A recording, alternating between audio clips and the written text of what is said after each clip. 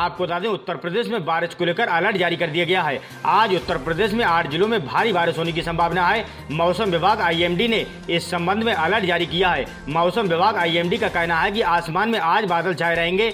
बारिश किसी भी समय हो सकती है। मौसम विभाग आईएमडी ने यूपी के बांदा, ललितपुर, झांसी, आगरा, हमीरपुर, महोबा, इटावा और जालौन ज़िले में बारिश को लेकर अलर्ट जारी किया है।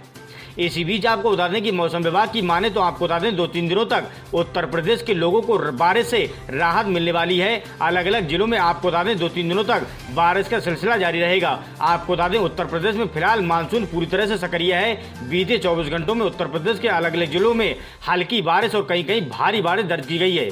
चलिए, अब जानते हैं कि कहाँ कहाँ बड़ा है बाढ़ का खतरा तो आपको बता दें, भारी बारिश और हरियाणा के हथनी कुंड बैराज से पानी छोड़े जाने के कारण उत्तर प्रदेश के आगरा, मथुरा ज़िले के कुछ इलाकों में बाढ़ का खतरा बढ़ गया है। सिंचाई विभाग विभाग की टीमों को यहाँ पहले से ही तैनाती कर दी गई है। वहीं आपको बता दें कि भारी बारिश के कारण चंबल नदी का जलस्तर भी बढ़ गया है। इस कारण राजस्थान और मध्य प्रदेश में भी बाढ़ का खतरा पैदा हो गया है।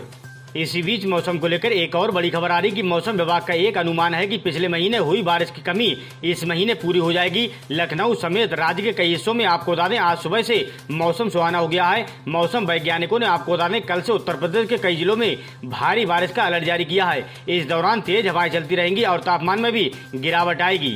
वीडियो के अंत में आपको ये भी बता दें कि आचार्य नरेंद्र देव कृषि विश्वविद्यालय कुमारगंज अयोध्या के मौसम विज्ञान के वरिष्ठ वैज्ञानिक डॉक्टर अमित अमरनाथ मिश्र ने ये भी बताया है कि अगले सात दिनों तक मानसून अच्छा रहेगा। उन्होंने कहा कि तीन दिनों के बाद मानसून के पश्चिम बंगाल से पूरे राज्य में गुजरने की संभावना है। ऐसे में तेज हवाओं के साथ तेज बारिश की भी संभावना बन रही है।